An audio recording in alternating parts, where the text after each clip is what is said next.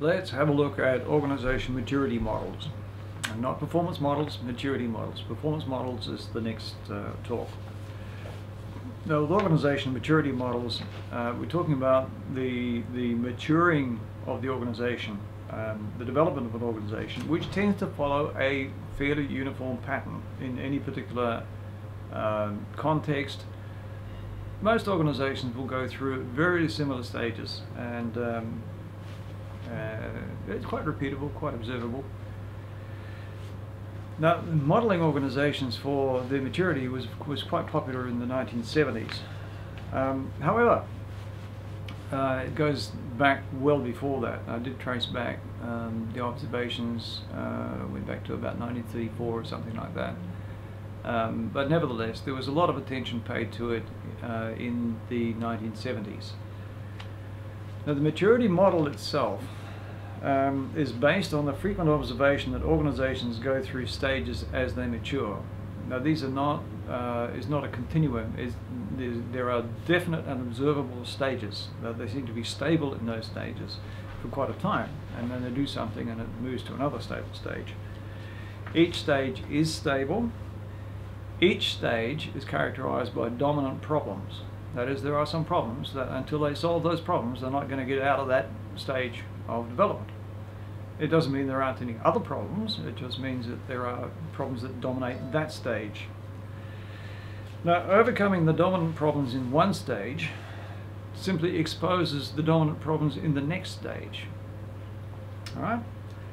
Progress through these is invariably one way. Organizations invariably go um, one way. They don't they don't regress. They don't come back again once they've sorted out uh, how to fix one one stage problems.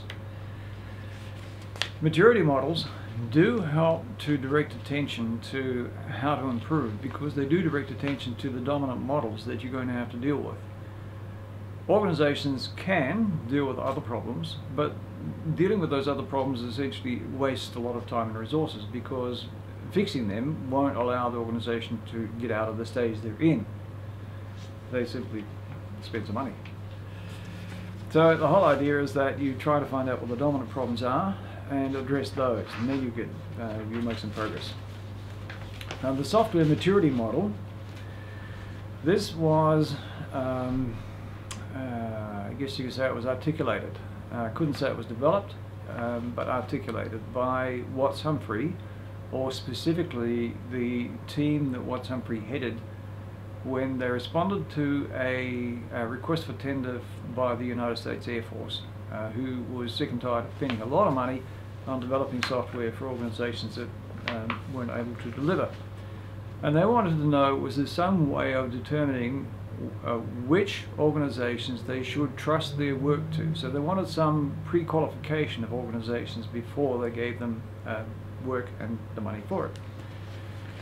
It happened that Watts Humphrey had been working for IBM, where he had been um, uh, supervising, among other people, Ron Radice, or Radich, um, who had been working on quality management and had uh, added to the work of uh, Philip Crosby and, and um, came up with this model of a maturing organization where it came to software development um, quality. They, um, they not Ron Radice, but uh, Watts Humphrey and the team uh, who were by that time the Software Engineering Institute at Carnegie Mellon University headed by um, uh, Mark Paulk, did publish this uh, software CMM. Uh, initially, it was actually a, a question, survey questionnaire uh, that simply found out where, where you were on the scale, but the, it was wrapped up and published as um, something more than a survey. And this was done, uh, the first one published in 1993. Now, it set out organization software development maturity in five levels. And the first level was performed, then was managed, then defined. Now, Watts Humphrey, when you when when you talk, I was going to say when you talk to him, he's unfortunately he's not he's not alive anymore. But uh, while he was there, he did say, well, the first three levels are evident. He he couldn't um, he couldn't prove the last two, which were um, measured and optimizing. but they seem to make a lot of sense and they were worth doing and it's been adopted and taken up quite widely since that time.